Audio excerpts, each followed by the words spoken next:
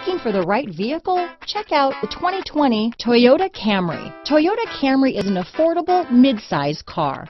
Reliable and great comfortable commuter car. This vehicle has less than 100 miles. Here are some of this vehicle's great options.